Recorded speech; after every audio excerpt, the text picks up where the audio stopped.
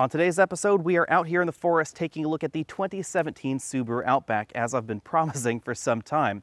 The Outback is something of an enigma because this really is one of a kind. At its heart, the Outback is a Subaru Legacy station wagon that's had its ride height increased to a very SUV-like 8.7 inches. That's just about the same ride height that you find in a Jeep Grand Cherokee. The all-wheel drive system and the increased ride height are not really what make the Outback unique in America, however. What's really unique about this is the fact that it is still a station wagon, and it's the only mid-sized mainstream station wagon in the United States. We do, of course, find a variety of European luxury station wagons in the United States, but they're all going to be significantly more expensive than the Subaru. Logically, the Outback's overall design is very similar to the Subaru Legacy. We have a very similar grille right here with the Subaru logo in the middle. We have this sort of metallic painted plastic section lower on the bumper and more rugged body cladding all the way around. Large fog lamps down here. We have an LED strip inside the headlamp module, and our model does have xenon headlamps. The Subaru Legacy is a mid-sized sedan, therefore the Subaru Outback is a mid-sized station wagon. At 189.6 inches long, this is almost exactly the same size as a Jeep Grand Cherokee, interestingly enough. But of course, the Subaru Legacy is a station wagon, not your more traditional boxy crossover. That's where Subaru's Forester steps in. So we have a window line and an overall roof line that is definitely very classic station wagon. They've tried to give the rear end a slightly rounder look, a slightly more raked profile right there overall to make it a little bit sportier looking than the classic American station wagon. But if you're after a classic American station wagon, this is your only option in this segment. We don't find a Ford Fusion wagon, a Chrysler 200 wagon, a Camry wagon, or an Accord wagon. The biggest difference between something like the Outback and a more traditional crossover is really going to be the seating position, both for the front and the rear passengers. This is going to be very car-like as far as the more relaxed seating position rather than the upright seating position that you find in a RAV4 or a CRV. Just as you'd expect from a traditional station wagon, we have a longer hood than you find in most compact crossovers. But what makes the comparisons a little bit trickier still with the Outback is that this is priced like your average compact crossover, not necessarily like your average mid-sized crossover, even though again, this is just about the same size overall as a Ford Edge or a Jeep Grand Cherokee. The increased ride height that we find in the Outback is definitely noticeable from the rear view, where you can actually see some of the suspension components from this camera angle. Like the front, we have some more rugged body cladding lower on the bumper, fairly well integrated parking sensors right here, and we have these tail lamp modules that wrap from the body onto the hatch lid. Turn signals on on that side so you can see what that looks like. When it comes to engines, Subaru has always marched to a slightly different drummer. You don't find inline or V engines under this hood. Things start out with a 2.5 liter boxer style engine. That's what we have in this particular model. It produces 175 horsepower and 174 pound-feet of torque. There's also a 3.6 liter six cylinder boxer engine available that produces 256 horsepower. Both engines are mated to a continuously variable transmission and standard all-wheel drive. This all-wheel drive system now sends 60% of the power to the front axle, 40% of the power to the rear axle under most conditions for both engine designs. There was a time where the Outback and the Legacy with the six-cylinder engine actually had a rear power bias, but that's a little bit different with this new CVT. Fuel economy is the big reason that the majority of the power is sent to the front axle now, because this four-cylinder engine will average 28 miles per gallon with the standard all-wheel drive system, although if you get the 3.6-liter V6, that does drop quite a ways down to 22. It's obvious when you take a look under the hood that Subaru did have mild off-roading in mind because they positioned the alternator nice and high on the engine to help keep it out of the way of mud and water. Front seat comfort is very good in the Outback. We have a tilt telescopic steering column with a wide range of motion. Our model also has two-way adjustable lumbar support. The power seat in our model offers more adjustability than some of the entries in the mainstream midsize sedan or mainstream compact crossover category, but this seat is definitely more comfortable than your average compact crossover. Of course, as I said earlier, the key thing to know about the Outback is you'll notice that my driving position is very car-like. My legs are definitely stretched out further in front of me. I'm not sitting quite as upright as I would in the average crossover. Hopping into the rear seats, you will definitely find more legroom and more importantly, more width than your average compact crossover. That's because, again, this is based on a mid-size sedan. Now, even though the seating position is not quite as upright and the roof line is not quite as high as your average crossover, I still have about an inch of headroom left sitting in the middle. Our model does have the optional sunroof. Moving all the way over to the right side of the car, this front seat is all the way back in its tracks, and I still have about five inches of legroom left. A nice touch with the Outback's rear seats is that it offers some recline ability. We have about three inches of overall motion in the seat back. These seats recline from either the cargo area or from the seating area right here. And we have a middle seat with a fold down center armrest, padded area but no storage cubby, and two cup holders. Although the Outback is about the same size as a Grand Cherokee, you might be tempted to think that you'd find more cargo storage space in the Jeep than in the Subaru, but you'd actually be wrong. Even though the box on top of the wheels in the Jeep is taller and squarer than we find in the Outback, we have about the same kind of storage space right behind the cargo hatch. This holds about 35 and a half cubic feet of things, which is only a sliver behind the Grand Cherokee and doesn't really make any appreciable difference when it comes to our bag test score. And then if we lift the cargo area load floor, we find a little bit more space under there as well. Of course, the reason that the Grand Cherokee has a taller box riding on top of its wheels and about the same kind of storage space inside is because the two vehicles have very different missions. The Grand Cherokee is a more rugged off-road intended vehicle, even though most people won't take it off-road. And as a result, it has a full-size spare tire. It has more structure going on under the vehicle, and that's really the difference between it and the Outback. So this is just slightly more efficient for the average use. When it comes to our exclusive trunk comfort index, I'm going to give this 9 out of 10 points. This is a hair smaller and a hair less practical than some of those mid-sized two-row crossovers out there, but this is significantly larger, significantly wider, and more practical than the average two-row compact crossover, and again, about the same size as the Grand Cherokee. We also have an available power hatch. As you'd expect, the interior is very similar to the Subaru Legacy, although there are a few touches that are unique to the Outback. We have height adjustable seatbelts for both the driver and the front passenger, and we have four-way adjustable headrests. These ratchet forward in that manner. Our particular model has these very attractive brown leather seats with slightly more rugged stitching than we find in the Legacy. These seats are perforated, but they're not ventilated, they're just heated. Although we do find hard plastics on the lower side of the door panel, the majority of the door panel is full of soft touch plastic. So we find a soft touch upper section here, leather insert right here, and a soft touch armrest. This is definitely more soft plastic than you find in your average compact crossover. The doors in our model are trimmed with this imitation wood trim and an attractive metallic painted strip below that. That trim continues on over to the dashboard. We do find a soft touch injection molded upper section and hard plastics below that wood trim. The glove box is a moderately sized bin glove box. I was not able to fit a large tablet computer in there, but I was able to fit something a little bit smaller, more like an iPad mini. Moving over to the center of the dashboard, we have two large air vents and a hazard light button. And then our model has the optional infotainment and navigation system. This offers Sirius XM and HD radio, an iPod interface, but most importantly, no Apple CarPlay or Android Auto integration.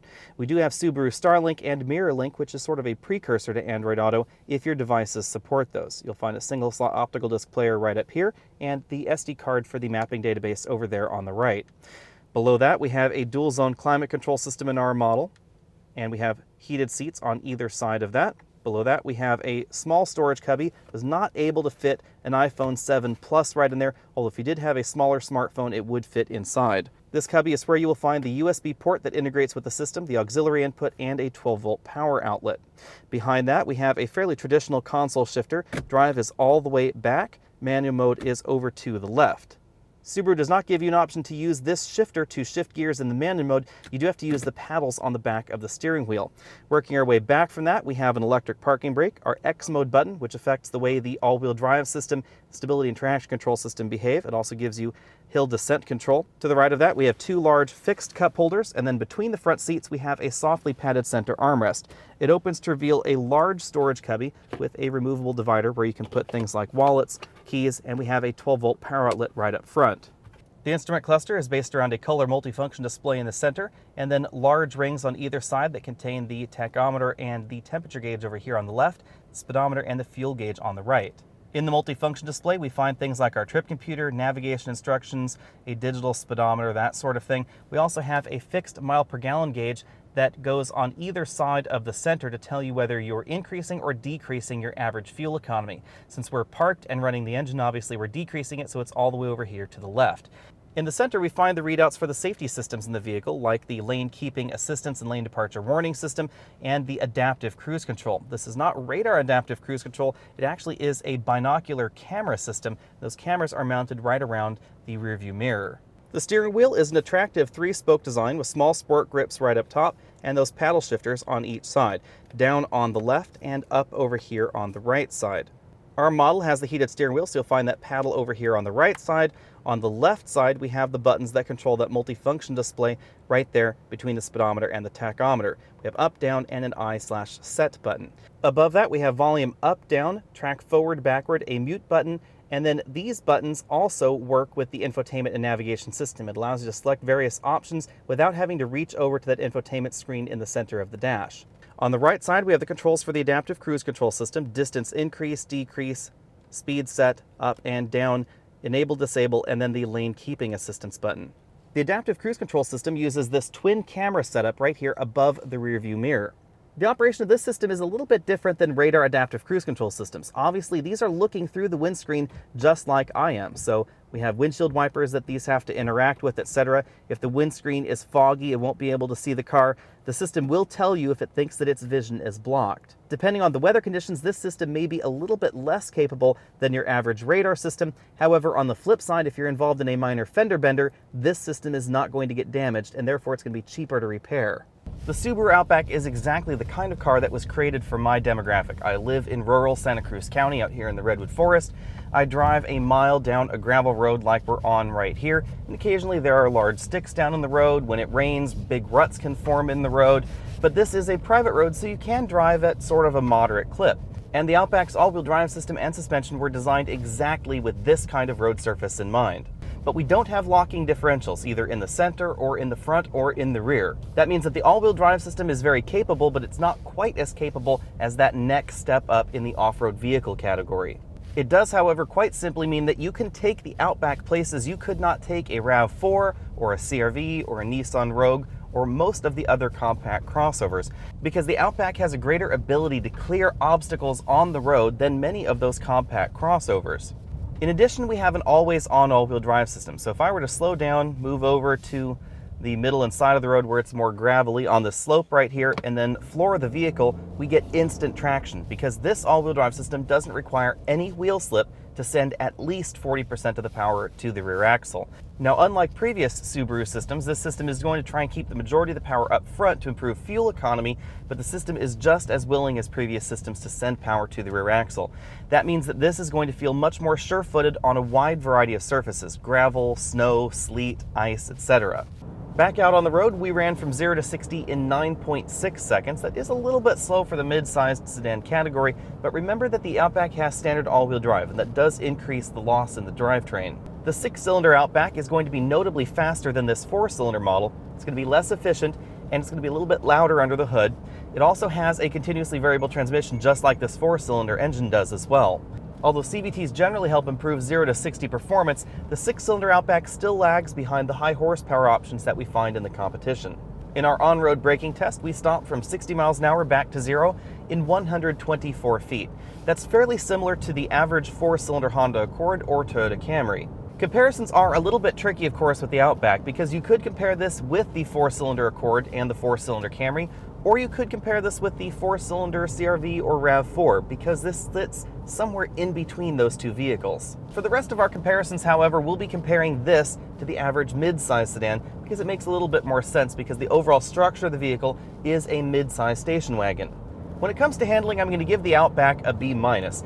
This has a fairly soft suspension for this category, although actual road grip is fairly comparable to four-cylinder Accord and four-cylinder Camry models. Because of the off-road or soft-road mission of the Outback, the suspension is higher off the ground, it's also softer than your average mid-size sedan.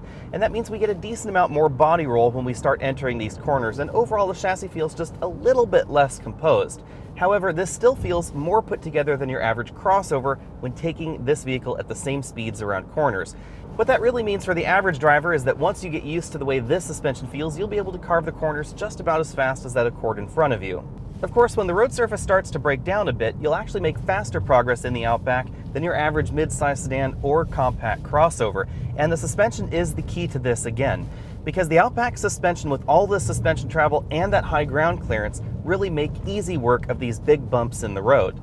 There's a reason they always seem to use Subaru models when shooting a film in Australia and they're just flying down those dirt roads in the Outback, because this is exactly the kind of suspension you need to soak up that kind of bump. Subaru has long been criticized for making vehicles that were just a little bit louder than the competition out on the road, and that is true for the Outback. We scored 75.5 decibels in our cabin noise test, and that is pretty high for the midsize sedan category or your average crossover.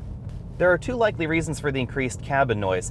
The four-cylinder boxer engine appears to be a little bit louder than the average entry's four-cylinder inline engine, and we just don't find quite as much sound deadening in this cabin.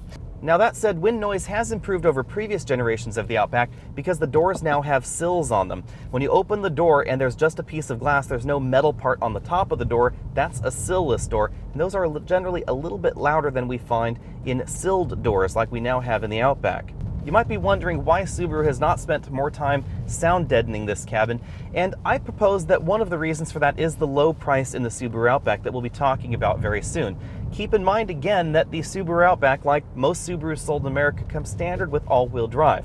And because the Subaru Outback and other Subarus tend to be very comparably priced with other manufacturers' base models, the money for that all-wheel drive system has to come from somewhere. So they do have to cut a few corners here and there in order to give you that all-wheel drive system.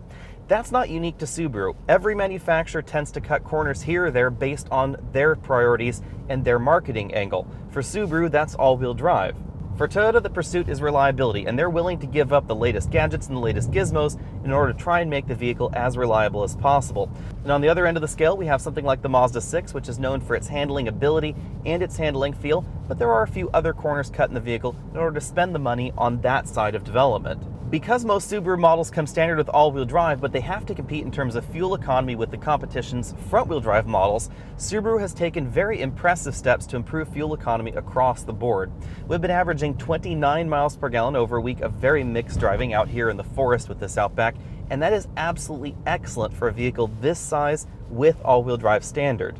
In fact, 29 miles per gallon is better than some vehicles in the mid-size sedan segment or even the compact crossover segment will get in two-wheel drive form. Thanks to the efficient engine design and the CVT, this easily gets an A plus when it comes to fuel economy. Now you should know if you get the six-cylinder Outback, then fuel economy drops quite a bit down to about 20 to 21 miles per gallon average, and that's actually lower than many of the four-cylinder turbos we see from the competition. I have to say that I'm a little bit disappointed that Subaru doesn't use their excellent four-cylinder turbocharged engine that we see in the Forester XT in the Subaru Outback. I think that would be a great engine for this vehicle. Subaru's Legacy is one of the least expensive mid-size sedans in the mainstream category, and that does translate directly to the Outback. The Outback starts at $25,645 for the 2017 model year. That's $3,650 higher than the Legacy sedan on which it's based. Because the Outback gets about $1,500 of extra standard equipment that you don't find in the Subaru Legacy, that puts the real cost of the wagon upgrade right around $2,200. All models of the Legacy come fairly well equipped with standard all-wheel drive, standard automatic transmission, the standard 6.2-inch infotainment system with smartphone app integration, and roof rails. On the surface of things, it may appear that the Legacy is approximately the same starting price as a Toyota RAV4 or some of the other compact crossovers in America, but it actually is less expensive because keep in mind, again, all-wheel drive is standard, and the average compact crossover in America starts as a two-wheel drive vehicle. For most people, the premium trim is going to be the true base price that gives you things like the dual zone climate control, more USB ports, and the larger infotainment system, as well as two extra speakers that most drivers are going to demand. If you want leather in your vehicle, you'll have to pay 32,390 for the limited trim. That also includes the up-level sound system and a few other goodies. The top-end touring trim that we've been driving this week started at $35,995, and that's essentially as loaded as you can get your Outback. You'll notice on this lineup that the EyeSight safety system is listed as being standard on the Touring, but it is also available in most of the trims of the Outback except for that base trim. If you want the 3.6-liter six-cylinder engine, it will cost you between $2,200 and $2,600 depending on the trim you add it to. It's only available in the limited trim and the Touring trim. The reason the difference between the 2.5 Limited and the 3.6 Limited is a little larger than the Touring is because HID headlamps are standard with the 3.6 liter engine, they're optional with the 2.5. Comparisons are tricky with the Outback, not just because this is the only mid-size station wagon in the mainstream segment in America, but also because this is a little bit different than the station wagon you may remember from your childhood. This has the ground clearance of a Jeep Grand Cherokee and all-wheel drive is standard. As such, the Outback is not really the same thing as a RAV4 or a CRV or any of the other vehicles in the compact crossover segment that are relatively similarly priced to the Outback. A Toyota RAV4 starts at $24,910. If you want all-wheel drive in that RAV4, it's $26,310. That's just about the same price as a comparably equipped Outback. Although the RAV4 does not come with standard all-wheel drive, it does come with a boatload of standard features, a little bit more standard feature content than we find in the Subaru. Interestingly enough, the RAV4 is likely going to be less capable off-road than the Outback, primarily because of the ground clearance that we find in the Subaru. The Subaru can clear larger sticks, larger logs, larger ruts than you could in the Toyota. The all-wheel drive system in the RAV4 is one of the most capable in this segment because it does have the ability to mechanically lock the center coupling. That's actually something that you cannot do in the Subaru Outback, although you can engage X mode and have the computer try and control that center coupling in a more off-road oriented fashion. The big difference is going to be the seating position and the way the vehicle feels out on the road. Even though the Outback is higher off the road than the RAV4, it feels more like a traditional car while you're driving it. The center of gravity is definitely lower, so even though we have a decent amount of body roll and the suspension is fairly soft, it's going to handle more like your average mid-size sedan than the average compact crossover. In addition to that, the seating position in the Outback is definitely more relaxed. It's not as upright as the RAV4. Some people may find that an advantage, some people may actually dislike that. The most direct competitor to the Outback in the US right now is the Volkswagen Golf Alltrack, but that's not actually the best comparison because the Golf Alltrack is a compact station wagon, not a mid-sized station wagon. A more appropriate comparison would be a Volkswagen Passat that had been jacked up and had all-wheel drive added to it, but that's not available in the United States. Even though the Alltrack is smaller than the Outback, it actually is a little bit more expensive. All-wheel drive is standard, but an automatic transmission is not. So it starts at $25,850, but 26,950 when you comparably equip that Alltrack to a base Subaru Outback. I do like the interior just a little bit more in the Golf than in the Subaru, but it's unquestionably smaller. Acceleration is better in the base Alltrack thanks to its standard turbocharged engine, and handling is better in the Alltrack as well. The big reason for that is that the Alltrack is not as high off the ground as the Subaru, so it's not going to be as capable off-road, although the handling does improve as a result. In fact, Volkswagen increases the ride height less than one inch versus the regular Golf wagon. Because the Golf is a smaller vehicle overall, the trunk is notably smaller, the back seat is not quite as wide, and we don't find the same kind of roomy feel that we see in the Subaru. In a nutshell, the Golf is going to be more capable on-road with better handling, better acceleration, and overall better handling feel. The Subaru is going to be better off-road and going to be more comfortable regardless of the road surface. The suspension is a little bit softer, we get significantly more ground clearance, and overall it's just going to be able to go places you couldn't go in your Golf Alltrack. A lot of people used to refer to the Subaru Outback as the discount Volvo Cross Country. It's certainly a lot less expensive than the Volvo Cross Countries that are on sale these days. The closest in terms of overall price to the Subaru Outback is the V60. If you consider $16,000 more expensive, close to the Subaru Outback in terms of overall price. The V60 Cross Country has a very different mission than the Subaru, however, because the V60 is obviously focused at on-road ability. The suspension is very firm for a vehicle in this sort of off-road station wagon category, the ground clearance is really not much higher than the regular V60 either. Compared to the Subaru Outback, acceleration is absolutely excellent, fuel economy is excellent, and comfort is excellent. We also have a lot of luxury options on the inside, but the inside is going to be smaller than the Subaru Outback, especially the trunk. It's going to be significantly more expensive than the Subaru Outback, and it's going to be less capable off-road. So if you're looking for a vehicle to complement your country lifestyle where you're living a mile or two down a gravel road, the Outback is going to be more comfortable, although the V60 is going to be a little bit more fun when you actually transition onto paved roads. The Outback may be a little bit quirky, but as someone that's owned a station wagon in their adult life, I do have a special place in my heart for the Outback. It's a quirky alternative to the average compact crossover. It's also a quirky alternative to the average mid-size sedan. Because if you're looking for a mid-size sedan and you want more room in the back seat or more cargo space or more headroom in the back seat, then the Subaru Outback is an excellent alternative. On the other hand, if you're one of the people that's out there looking at a compact crossover, but you want something that's a little bit more car-like, it's also a good alternative in that respect. Although folks in the US don't really seem to be shopping for station wagons like they used to, Subaru has obviously carved out a very specific market for the Outback wagon. When it comes to my top pick in this segment, you should know that I value acceleration and the handling ability a little bit more than the ground clearance that we see in the Subaru Outback. And that's why the 2017 Volkswagen Golf Alltrack is still my top pick in this segment. However, the Subaru Outback, especially in the top-end trim, is an excellent alternative. Again, the Outback is going to be more comfortable. It's also going to be more roomy on the inside, but its drivetrain doesn't feel quite as refined as we see in the Golf Alltrack, and it doesn't handle quite as well either. I suspect, however, if Subaru puts their four-cylinder turbocharged engine into the Outback at some point, it would take the top pick in the segment. If money is no object, then I would recommend going with the 2017 Volvo V60 Cross Country, but again, keep in mind the suspension is going to be much firmer than the Subaru Outback, the back seat and the trunk are going to be significantly smaller. Thanks for taking the time to check out this video. Again, I'm Alex Dykes, and this has been the 2017 Subaru Outback. Be sure and check out the related videos on the side of your screen. Find us on facebook.com slash alexonautos. You can also head over to alexonautos.com as well. I'll see you next week.